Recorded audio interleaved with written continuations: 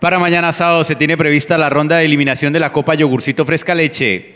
Bueno, en el momento hemos realizado varias eliminatorias, eh, estamos por realizar la última este sábado desde las 7 y 30 de la mañana en las instalaciones de la cancha sintética monumental. De nuevo, los niños de las comunas, clubes, corregimientos tendrán su turno a partir de las 7.30 de la mañana. Es de verdad que, que una oportunidad para que los niños vayan, se diviertan en familia, eh, no pagan cancha, no pagan arbitraje, totalmente eh, es llevar su equipo y que se presente y que hagan deporte los niños. Los partidos se desarrollarán en las canchas sintéticas Monumental Fútbol Club. Bueno, en el, hasta el momento hemos visto buen nivel, eh, hay niños que pertenecen a algunos clubes deportivos, hay niños que pertenecen a, a diferentes escuelas y se ve que hay una preparación que ellos ya han tenido posterior a, a esas eliminatorias.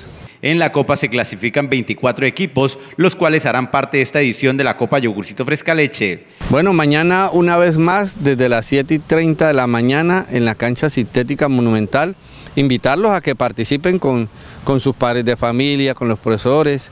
En familia hacemos deporte y de una manera muy sana. La firma santanderiana Fresca Leche, comprometida con el deporte santanderiano y con la niñez del departamento.